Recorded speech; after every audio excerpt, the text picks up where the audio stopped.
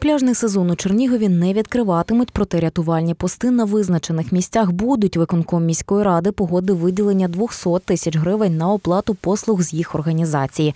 На всіх місцях, де зазвичай купалися чернігівці та чернігівки, розвісять і листівки попередження про небезпеку, оскільки через високий рівень води дно не обстежене. Міський голова на засіданні пояснив свою позицію.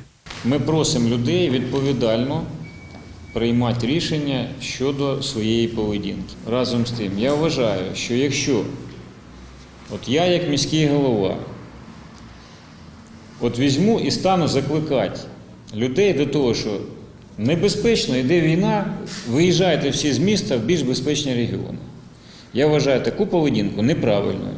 Правильно все перемагати вже завтра і, і, і виганяти е, загарбників і, і відроджувати Україну.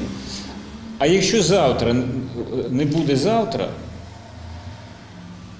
то треба жити і працювати. Стільки, скільки потрібно до перемоги. Е, З е, власним сумлінням відноситься до всіх ризиків. Тому що якщо ми посядемо і будемо чекати, ми можемо чекати півтора року.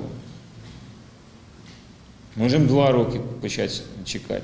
Я звертаюся до людей і кажу, люди добрі, ви, кожна сім'я, кожна людина особисто дайте е, зважену таку оцінку щодо ризиків. Будь ласка, дотримуйтесь всіх там максимально заходів безпеки.